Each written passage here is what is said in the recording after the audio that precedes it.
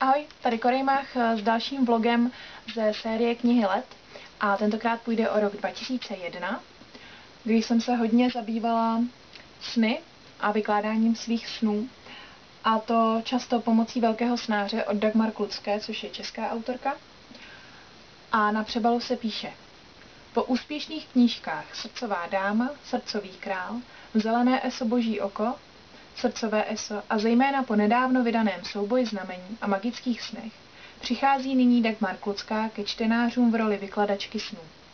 Abecedně řazená hesla, názvy předmětů, jevů a činností, které mohou dominovat našim snům, a jejich velice stručný, výstižný výklad doplňuje u každého písmena abecedy krátký zážitek některého z mnoha klientů paní Klucké, která objasňuje význam konkrétního snu. Pochopitelně, že i v této knize využívá svých dlouhletých zkušeností s výkladem karet, věštěním osudu a zúročuje stálý zájem o historii snové symboliky, o utajená zákoutí lidské duše a všechny věci mezi nebem a zemí. Tak, je to naprosto jednoduchý snář, ve kterém máte vždycky uvedený symbol a případně nějaké upřesnění k němu a poté vždy větu, která vysvětluje tento symbol, která odkazuje na to, co se vám možná stane, nebo co vám ten sen chtěl naznačit, jak, vám jej, jak by vám jej paní Klucká vyložila. A v obsahu jsou popsané nebo pojmenované ty jednotlivé sny, které jsou zde vypsány a vysvětleny.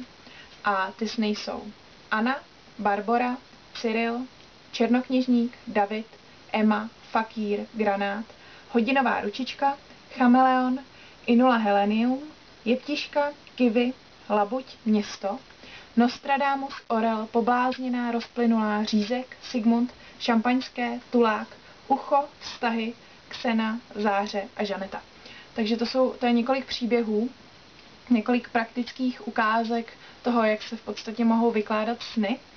A pokud si budete chtít vykládat svoje sny, tak určitě můžete použít jakoukoliv i jinou symboliku než eh, snářovou symboliku.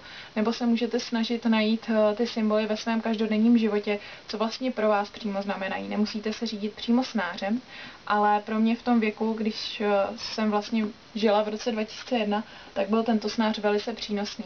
Hodně jsem si psala svoje sny, hodně jsem si je vykládala potom během dne, měla jsem na to čas a bavilo mě to a než jsem vlastně došla k tomu, že jsem si objevila ten svůj korespondenční systém, tak mě tahle knížka hodně, hodně podpořila.